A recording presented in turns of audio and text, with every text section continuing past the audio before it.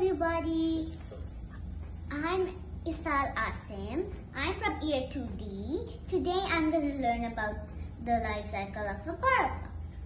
There are four stages of them. The first one is a butterfly goes on a leaf, then it lays an egg, Second one.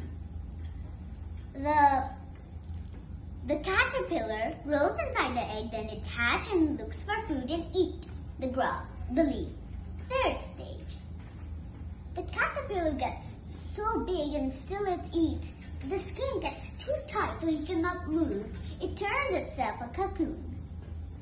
Fourth slide.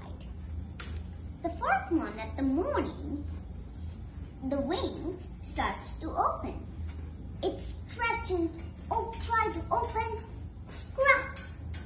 Um, uh, open! It's the door of the cocoon, of the chrysalis.